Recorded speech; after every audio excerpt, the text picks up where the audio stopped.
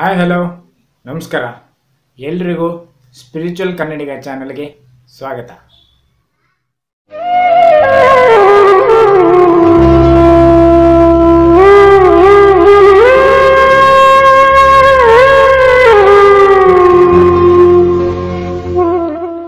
ಇವತ್ತಿನ video start ಮಾಡೋಕ್ಕಿಂತ ಮುಂಚೆ ಯಾರ್ಯಾರಿಗೆ ಆಧ್ಯಾತ್ಮಿಕತೆಯಲ್ಲಿ ಇಂಟ್ರೆಸ್ಟ್ ಇದೆಯೋ ನಮ್ಮ ಚಾನಲ್ನ ಸಬ್ಸ್ಕ್ರೈಬ್ ಮಾಡ್ಕೊಳ್ಳಿ. ಹಾಗೆಯೇ ಬೆಲ್ ಐಕಾನ್ ಸಹ ಕ್ಲಿಕ್ ಮಾಡಿ. ಸೊ ಇವತ್ತಿನ ಟಾಪಿಕ್ನ ಸ್ಟಾರ್ಟ್ ಮಾಡೋಣ. ಇವತ್ತಿನ ಟಾಪಿಕ್ ಬಂದುಬಿಟ್ಟು ವಾಟ್ ಈಸ್ ಮೈಂಡ್ ನಮ್ಮ ಮೈಂಡ್ ಅಂದರೆ ಏನು? ಥಾಟ್ ಅಂದರೆ ಏನು? ಥಿಂಕಿಂಗ್ ಅಂದರೆ ಏನು? ಅದನ್ನು ಯಾವ ಥರ, ಯಾವ ಮಟ್ಟಿಗೆ ನಾವು ಕಂಟ್ರೋಲ್ ಮಾಡ್ಬೋದು ಅಂತ ಈ ವಿಡಿಯೋದಲ್ಲಿ ನಾವು ತಿಳ್ಕೊಳ್ಳೋಣ. ಸೊ ಮೈಂಡ್ ಅಂದರೆ ನಮ್ಮ ಮೆದುಳಿನಲ್ಲಿ ಬೇಸಿಕ್ ಆಗಿ ಮೆಮೊರಿ ಫೀಲಿಂಗು ಹಾಗೆಯೇ ಎಮೋಷನ್ನು ಇವನ್ನೆಲ್ಲ ಒಳಗೊಂಡಿರುವುದೇ ಈ ನಮ್ಮ ಮೈಂಡು ಮೈಂಡ್ನಲ್ಲಿ ಬೇಸಿಕ್ ಆಗಿ ಎರಡು ಟೈಪ್ಸ್ ಬರುತ್ತೆ. ಒಂದನೇದು ಕಾನ್ಷಿಯಸ್ ಮೈಂಡು ಎರಡನೇದು subconscious mind conscious mind ಬಗ್ಗೆ ತಿಳ್ಕೊಬೇಕಂದ್ರೆ, ನಾನೀಗ ನಿಮ್ಮ ಮುಂದೆ ನಿಂತು ವಿಡಿಯೋ ಮಾಡ್ತಿದ್ದೀನಿ ಅಂದರೆ, ನಾನು ಅದ್ರ ಬಗ್ಗೆ ಅವೇರ್ ಆಗಿದ್ದೀನಿ ಅಥವಾ ಕಾನ್ಷಿಯಸ್ ಆಗಿದ್ದೀನಿ. ಅದೇ ಈ ಕಾನ್ಷಿಯಸ್ ಮೈಂಡು ನಮಗೆ ಅರಿವಿರುತ್ತೆ ನಾವು ಏನು ಮಾಡ್ತಾ ಇದ್ದೀವಿ, ಏನು ಮಾಡ್ತಾ ಇಲ್ಲ. ನಾವು ಅರಿತು ಮಾಡುವಂಥ ಎಲ್ಲ ಕೆಲಸಗಳು ಈ ಕಾನ್ಷಿಯಸ್ ಮೈಂಡ್ ಮೇಲೆ ಡಿಪೆಂಡ್ ಆಗಿರುತ್ತೆ. ಸೊ ಎರಡನೇದು ಸಬ್ ಕಾನ್ಷಿಯಸ್ ಮೈಂಡು ಈ ಸಬ್ ಕಾನ್ಷಿಯಸ್ ಮೈಂಡನ್ನ ನಾವು ನೇಚರ್ಸ್ ಇಂಟೆಲಿಜೆನ್ಸ್ ಕೂಡ ಅನ್ಬೋದು. ಯಾಕಂದರೆ ಇದು ನಮಗೆ ಪ್ರಕೃತಿ ದತ್ತವಾಗಿ ಬಂದಿರುತ್ತೆ. ನಾವು ಉಸಿರಾಟ ಇರ್ಬೋದು, ನಮ್ಮ ಜೀರ್ಣಕ್ರಿಯೆ ಇರ್ಬೋದು, ಇದೆಲ್ಲ ನಮ್ಗೆ ಅರಿವಿಲ್ಲದೆ ತಾನಾಗಿಯೇ ಆಗ್ತಾ ಇರುತ್ತೆ. ನಮ್ಮ ಬಾಡಿಯಲ್ಲಿ ಹಲವಾರು ಕ್ರಿಯೆಗಳು ತನ್ನಂಗೆ ತಾನಾಗೇ ನಡೀತಾ ಇರುತ್ತೆ. ಅದೆಲ್ಲ ಈ ಸಬ್ ಕಾನ್ಷಿಯಸ್ ಮೈಂಡ್ನ ಕ್ರಿಯೆಗಳು. ಈ ನಮ್ಮ ಮೈಂಡ್ನಲ್ಲಿ ಮೇಜರ್ ಆಗಿರೋದು ಈ ಮೆಮೊರಿ ಈ ಜ್ಞಾಪಕ ಶಕ್ತಿ ಇದೆಯಲ್ಲ ಮೆಮೊರಿ ಇದರಿಂದನೇ ನಾವು ಈ ಕರೆಕ್ಟಾಗಿ ಬಾಳ್ತಾ ಇರೋದು. ಸೊ ಈ ಮೆಮೊರಿ ಅಂದರೆ ಏನು ಅಂತ ನಾವು ತಿಳ್ಕೊಳ್ಳೋಣ. ಮೆಮೊರಿ ಅಂದರೆ ನಾವು ಚಿಕ್ಕನ್ನಿಂದ ನಾವು ಹುಟ್ಟಿದಾಗಿನಿಂದ ಇಲ್ಲಿವರೆಗೂ ಯಾವ್ಯಾವ ಇನ್ಫಾರ್ಮೇಷನ್ಗಳನ್ನು ಈ ನಮ್ಮ ಐದು ಸೆನ್ಸಸ್ಗಳ ಮೂಲಕ ತಗೊಂಡು ಅದನ್ನು ಸ್ಟೋರ್ ಮಾಡಿರ್ತೀವೋ ಅದೇ ಈ ಮೆಮೊರಿ ಈ ನಮ್ಮಲ್ಲಿರೋ ಐದು ಸೆನ್ಸಸ್ ಯಾವಪ್ಪ ಅಂದರೆ ಮೊದಲನೇದು ನೋಡೋದು. ಎರಡನೇದು ಕೇಳೋದು. ಮೂರನೇದು ಸ್ಮೆಲ್ ಮಾಡೋದು, ಅಂದರೆ ವಾಸನೆ ತೆಗೆದುಕೊಳ್ಳೋದು. ನಾಲ್ಕನೇದು ಟೇಸ್ಟ್ ಮಾಡೋದು. ರುಚಿ ನೋಡೋದು. ನಾಲ್ಗೆ ಮೂಲಕ ನಾವು ರುಚಿ ನೋಡ್ತೀವಲ್ಲ, ಅದು ನಾಲ್ಕನೇದು. ಐದನೇದು ಟಚ್ ಮಾಡೋದು. ಈಗ ನಾವು ಟಚ್ ಮಾಡಿದ್ರೆ ಫೀಲ್ ಆಗುತ್ತಲ್ಲ? ಈ ಐದು ಸೆನ್ಸಸ್ಗಳ ಮೂಲಕ ನಾವು ಹುಟ್ಟಿದಾಗಿನಿಂದ ಇಲ್ಲಿವರೆಗೂ ಹಲವಾರು ಇನ್ಫಾರ್ಮೇಷನ್ಗಳನ್ನು ಗ್ಯಾದರ್ ಮಾಡಿರ್ತೀವಿ. ಆ ಗ್ಯಾದರ್ ಮಾಡಿರೋ ಇನ್ಫಾರ್ಮೇಷನೇ ಈ ನಮ್ಮ ಮೆಮ್ರಿಯಾಗಿ ಕನ್ವರ್ಟ್ ಆಗೋದು. ಈ ಮೆಮ್ರಿಯಿಂದನೇ ನಾನು ಈಗ ನಿಮ್ಮ ಮುಂದೆ ನಿಂತು ಮಾತಾಡ್ತಾ ಇದ್ದೆ. ನಮ್ಮ ಮೆಮರಿ ಹೇಗಿರುತ್ತೋ ಅದ್ರ ಮೇಲೇ ನಾವು ಈಗ ಆ್ಯಕ್ಟ್ ಮಾಡೋಕ್ಕೆ ಸಾಧ್ಯ ಆಗೋದು. ಈ ಮೆಮರಿನ ಕರೆಕ್ಟಾಗಿ ತಿಳ್ಕೊಂಡು ಅದನ್ನು ಹೇಗೆ ಯೂಸ್ ಮಾಡ್ಕೋಬೇಕು ಅನ್ನೋದು ತುಂಬಾ ಇಂಪಾರ್ಟೆಂಟ್ ಆಗುತ್ತೆ. ಯಾಕಂದರೆ ನಾವು ಎಲ್ಲ ಮೆಮರಿಯಲ್ಲಿ ನಮ್ಮ ಚಟುವಟಿಕೆಗಳು, ನಮ್ಮ ಫೀಲಿಂಗ್ಸು ನಮ್ಮ ಎಮೋಷನ್ಸು ಎಲ್ಲನೂ ಸ್ಟೋರ್ ಆಗಿರುತ್ತೆ. ನಾವು ಮೆಮರಿಯಲ್ಲಿ ನಮಗೆ ಏನು ಬೇಕು ಅಷ್ಟೇ ತೆಗೆದುಕೊಂಡು ಈಗಿನ ಕಾಲದಲ್ಲಿ ಯೂಸ್ ಮಾಡಿದ್ರೆ ನಾವು ಕರೆಕ್ಟಾಗಿ ಬಾಳೋಕ್ಕೆ ಸಾಧ್ಯ. ಇಲ್ಲ ಅಂದರೆ ಭೂತಕಾಲದಲ್ಲಿ ಅಂದರೆ ಪಾಸ್ಟ್ನಲ್ಲಿ ಆಗಿರೋ ಎಲ್ಲ ಮೆಮೊರಿಗಳನ್ನು ಪ್ರೆಸೆಂಟ್ನಲ್ಲಿ ಕೂಡ ನಾವು ನೆನ್ಪು ಮಾಡ್ತಾ ಇದ್ದರೆ ನಾವು ಬದುಕೋದು ಕಷ್ಟ ಆಗಿಬಿಡುತ್ತೆ. ಸೊ ಅದಕ್ಕೆ ಮೈಂಡ್ನ ನಾವು ಹೇಗೆ ಯೂಸ್ ಮಾಡ್ಕೋಬೇಕು ಅಂತ ಮುಂದೆ ನೋಡೋಣ. ಅದಕ್ಕಿಂತ ಮುಂಚೆ ನಮ್ಮ ಥಾಟ್ ಅಂದರೆ ಏನು ಥಿಂಕಿಂಗ್ ಅಂದರೆ ಏನು ಅಂತ ನಾವು ತಿಳ್ಕೊಳ್ಳೋಣ.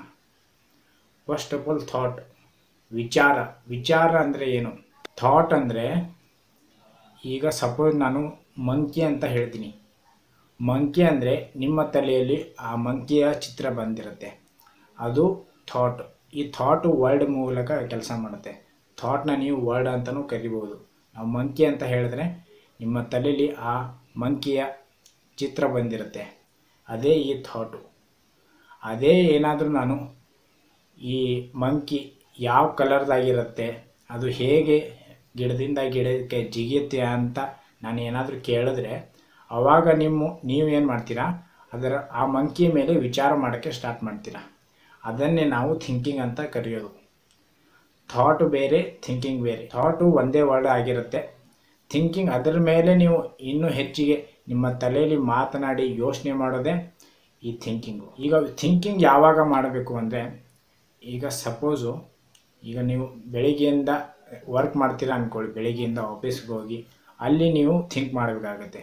ಈಗ ಒಂದು ಥಾಟ್ ಬಂತು, ಈ ಪ್ರೊಜೆಕ್ಟ್ನ ಹೇಗೆ ಮಾಡಬೇಕು, ಮುಂದೆ ಹೇಗೆ ತರಬೇಕು, ಅಲ್ಲಿ ನಿಮ್ಮ ವಿಚಾರ ಶಕ್ತಿಯನ್ನು ನೀವು ಯೂಸ್ ಮಾಡ್ಕೋಬೇಕು. ಈ ಪ್ರೊಜೆಕ್ಟ್ನ ನಾವು ಹೇಗೆ ಮಾಡಬೇಕು, ಮುಂದೆ ಹೇಗೆ ಪ್ರೊಸೆಸ್ ಮಾಡಬೇಕು ಫ್ಯೂಚರ್ನಲ್ಲಿ ಏನೇನು ಅಡಚಣೆ ಬರ್ಬೋದು, ಆ ಥರ ಇಮ್ಯಾಜಿನೇಷನ್ ಅಲ್ಲಿ ಕೂಡ ನೀವು ಯೂಸ್ ಮಾಡ್ಬೋದು. ಸೊ ಅದಕ್ಕೆ ಎಲ್ಲೆಲ್ಲಿ ನಿಮ್ಮ ವಿಚಾರ ಶಕ್ತಿಯ ರಿಕ್ವೈರ್ಮೆಂಟ್ ಇದೆಯೋ ಅಲ್ಲಲ್ಲಿ ಮಾತ್ರ ವಿಚಾರ ಮಾಡೋಕ್ಕೆ ಸ್ಟಾರ್ಟ್ ಮಾಡೋಣ. ಸೊ ನಿಮ್ಮ ಆ ತಲೆಯಲ್ಲಿ ನಾವು ಬೆಳಗ್ಗಿಂದ ಸಾಯಂಕಾಲವರೆಗೂ ಮಾತಾಡ್ತಿರ್ತೀವಲ್ಲ, ಅದನ್ನೇ ನಾವು ಕಡಿಮೆ ಮಾಡ್ಕೋಬೇಕು.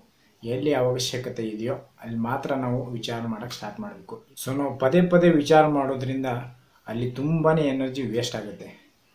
ಅದನ್ನು ಬಿಟ್ಟು ನಮಗೆ ಯಾವಾಗ ಅವಶ್ಯಕತೆ ಇದೆಯೋ ಆವಾಗ ಮಾತ್ರ ನಾವು ವಿಚಾರ ಮಾಡಿದರೆ ತುಂಬಾ ಹೆಲ್ಪ್ ಆಗುತ್ತೆ. ಮತ್ತು, ನಾವು ಯಾವಾಗ ವಿಚಾರ ಮಾಡೋದಿಲ್ವೋ ಆವಾಗ ನಾವು ನಮ್ಮ ಸುತ್ತಮುತ್ತಲು ಏನು ನಡೀತಾ ಇದೆ ನಮ್ಮ ಬಾಡಿಯಲ್ಲಿ ಏನಾಗ್ತಾ ಇದೆ, ಯಾವ ಸೌಂಡ್ ಬರ್ತಾ ಇದೆ, ಯಾವ ಸೌಂಡ್ ಬರ್ತಾ ಇಲ್ಲ ಸೊ ಅದನ್ನು ಬರೀ ಅಬ್ಸರ್ವ್ ಮಾಡಿದ್ರೆ ನಾವು ಪ್ರೆಸೆಂಟ್ ಮೂಮೆಂಟ್ನಲ್ಲಿ ಇರೋಕ್ಕೆ ಹೆಲ್ಪ್ ಆಗುತ್ತೆ.